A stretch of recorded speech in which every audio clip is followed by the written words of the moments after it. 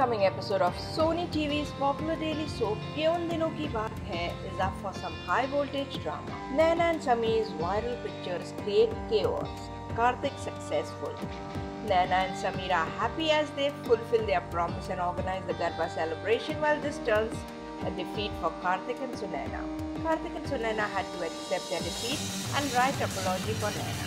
Kartik and Sunaina couldn't digest their this defeat and has a plan. Kartik plans to get Naina and Sameer's close pictures viral. Naina and Sameer's new trouble. Kartik and Sunaina choose the Garba celebration as the moment to disclose it and ruin Naina Sameer's all happiness.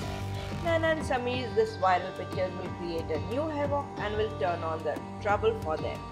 So what do you feel about this? Keep watching our channel TV Prime for more such exciting updates and upcoming twist.